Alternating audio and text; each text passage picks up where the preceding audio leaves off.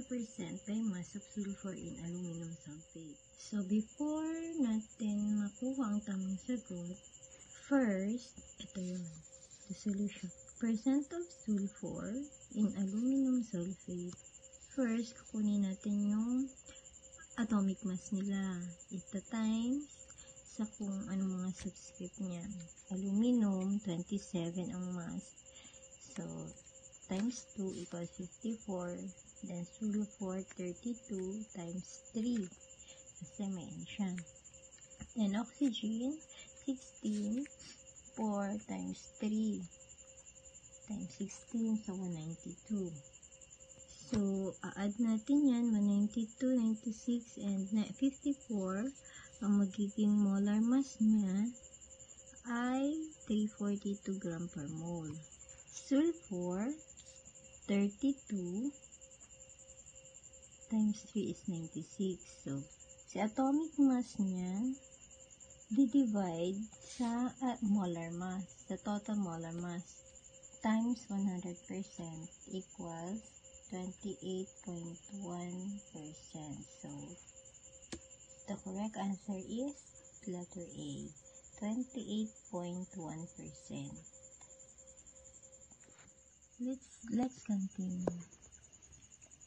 What is the mass of 2.2 times 10 to the 9th power of carbon dioxide molecules? So, kunin natin, carbon is 12 plus 16 oxygen times 2 equals 44 gram per mole. Pag nakuha na natin ang total molar mass, yan na yung ita-times natin. So, 2.2 times 44. Magiging 96.8. At ang sagot na dito, siya ang i-divide sa Avogadro's number. So, ang Avogadro's number is 6.22 times 10 to the 23rd power. So, paka-divide natin, ito yung sagot. 16.07. At dahil 2 digit siya, wala naman sa pagpipilian, ang sagot na kagaya nito, malamang yung A na. So, para makuha din natin yung 1 digit lang, i-move natin pa left. So, magiging 1.6. Kapag tayo ay nag-divide, ang exponent sa division ay ima-minus. So, 9 minus 23 equals negative 14. Kasi mas malaki eh, di ba? At kapag nag-move naman tayo pa left, add 1. So, magiging negative 13. So, ang magiging final answer, 1.6 times 10 to the negative 13th power. So, letter A ang sagot. Question. How many grams are con contained in 0.644 mole oxygen? Here our solution. First, laging kinukuha ang molar mass. So, oxygen, 16 times 2. So, 32 grams. Diba, oxygen ang tinatanong. So, yan ang ita-times mo lang sa 0.644 mole. So, ang magiging sagot niya, 20.6 gram. Simple lang siya. Ita-times mo lang. So, ang sagot is letter C. Mole concept, use atomic mass of oxygen to convert it to grams. Number 4 question. Calculate the formula weight of sodium hydrogen sulfate. Nating isosolve. First, ang molar mass nila.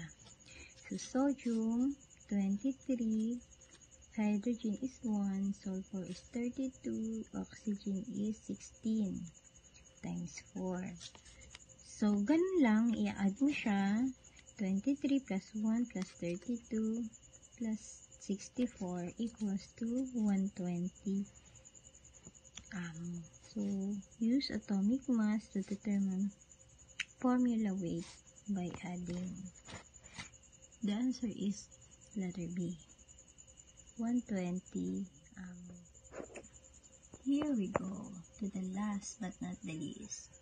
Number 5 question. How many atoms of hydrogen are in 1 mole of water? So, here our solution. Water into a symbols H2O. So, ang hydrogen may two elements. So, times mo lang siya sa 1 mole is equals to 2.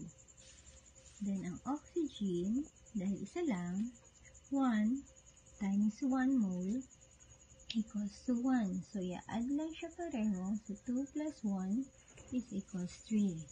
Ito times mo siya sa Avogadro's number. So, 6.22 times 10 to the 23rd power. Ang sagot niya is 18.1 mole. At dahil walang 2 digits dyan, 1 digit lang, so move not pa left. So, a-add to the exponent.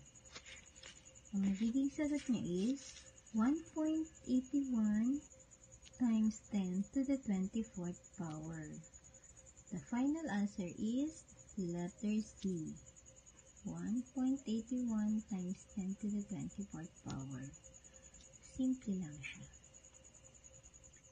It's already 4 a.m. here in the Philippines. Bye guys.